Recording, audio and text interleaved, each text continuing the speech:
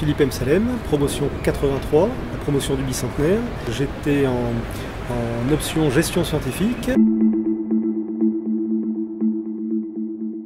Alors en fait, le lien avec l'association, c'est plutôt un, lien avec l'école, avec les anciens. Euh, D'abord un noyau d'anciens que j'ai conservé, ou du moins les, relations euh, avec un certain nombre d'anciens qui me sont proches et avec lesquels nous, nous étions euh, assez actifs euh, euh, au sein de l'école durant notre scolarité.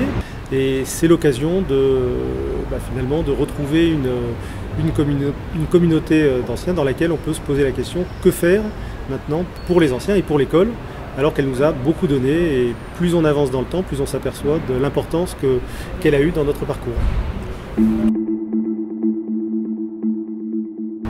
Avec le recul, euh, je m'aperçois, euh, je vous avais déjà un petit peu euh, au départ, que la formation qu'on a acquise à l'école, plus l'image que celle-ci véhicule, nous donne une liberté et un privilège considérable et que c'est à la fois un droit qu'on a acquis, mais euh, également euh, des, devoirs que l'on a à, rendre à un moment donné, euh, aussi à son, école et à, d'une certaine manière, plus largement à, la nation. Et ça me paraissait normal de contribuer d'une façon matérielle dans un premier temps, mais pourquoi pas de façon, de façon active et par du temps à consacrer pour la Fondation.